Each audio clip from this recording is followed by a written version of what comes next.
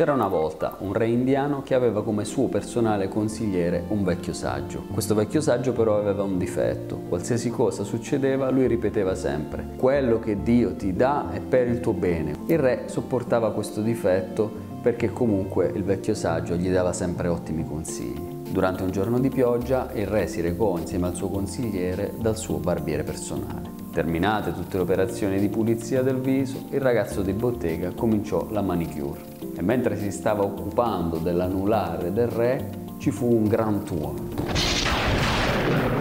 Tutti si spaventarono, sia il re che il garzone, e in quel momento, zac, malauguratamente, il re perse il suo dito.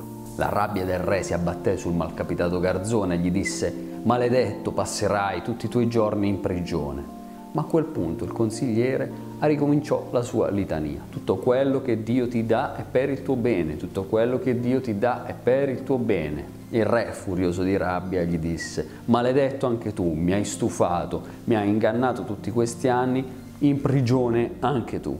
Almeno lì lo racconterai alle sbarre e ai muri. Il giorno dopo il re, ancora scosso per la rabbia, decise di andare a fare una battuta di caccia e decise di andarci da solo perché aveva bisogno di un po' di solitudine per svagarsi un po'.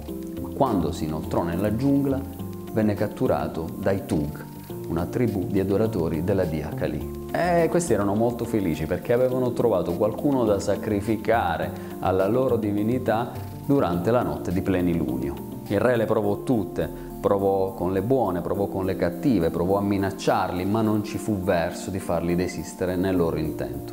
Il rituale ebbe inizio, lo legarono, iniziarono a danzare intorno e quando il capo dei Tug stava per affondare la sua lama nel petto del re, vide con orrore che gli mancava un dito. Ma come si fa a sacrificare qualcuno il cui corpo non è perfettamente integro? La dea Kali se ne avrà a male e quindi decisero di percuoterlo, di dargli un po' di bastonate, ma se non altro di lasciarlo vivo. Il re, ancora tutto stordito, si avviò verso il palazzo e si ricordò delle parole del suo vecchio saggio. In effetti aveva ragione. Se lui non avesse perso il dito, avrebbe in questo caso perso la sua vita. E allora tornò subito dal suo vecchio saggio e gli disse Guardami, scusami veramente, non avevo capito che tu avevi ragione. In effetti sai cosa mi è successo? Sono stato catturato dai Tug, mi stavano per sacrificare, hanno visto che mi mancava l'anulare e mi hanno lasciato libero. Avevi ragione. Tutto quello che Dio ci dà, ce lo dà per il nostro bene. E tuttavia, amico mio, mi stavo chiedendo, ma se è vero come è vero che Dio ci dà tutto per il nostro bene, a te, che sei stato messo in prigione, che sei stato umiliato, che cosa ti ha dato di prezioso?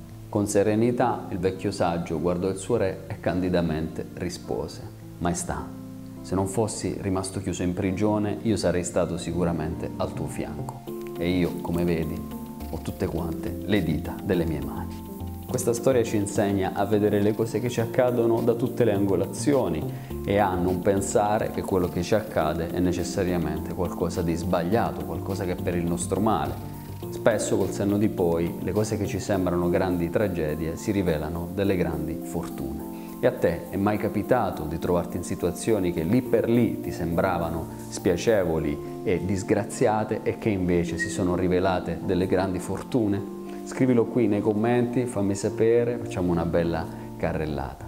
Iscriviti anche al canale YouTube Psicologia e Vita e alla newsletter dal sito robertausilio.it. Ciao, a presto! Bye.